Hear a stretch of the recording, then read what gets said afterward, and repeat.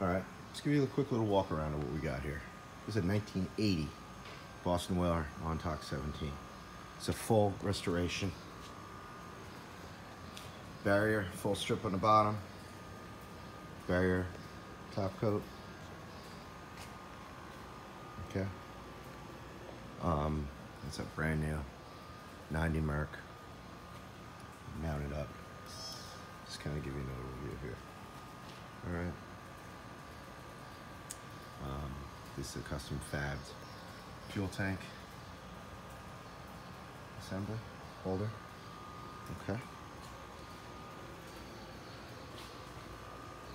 All this has been filled and done and custom mounted Yeti.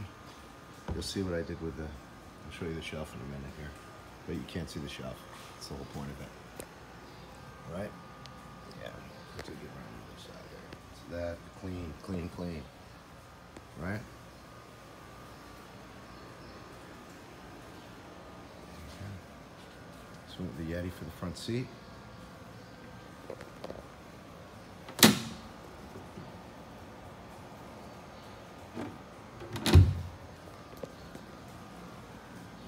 All new hardware. New rub rail. Same existing railings. Okay. Um, customer did the bright work. Um, so yeah, so we moved everything up front here. If you notice, there wasn't any batteries in the back.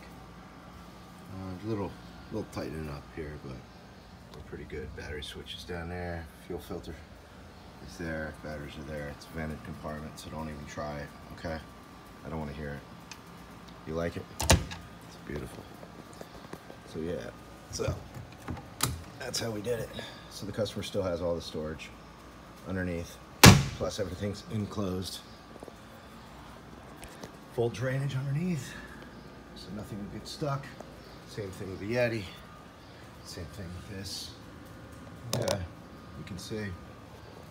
So non-skid is done. This is Awlcraft 2000. Um, it's not snow white. Off white up top, snow white on the sides. All right. New stickers. So that's pretty much the overview. Um, yeah, I'm pretty happy with this. So, any questions? You know, three, uh, this is it. It's a NAFS, uh, automatic bilge, and a Garmin. That's it. USB up here. And that's, uh, that's pretty much it. Clean.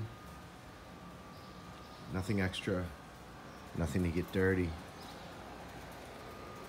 So, yeah. Full on restoration. I give a price, but it's kind of none of your business. Um, brand new Bimini. Um, yeah. So, there you go.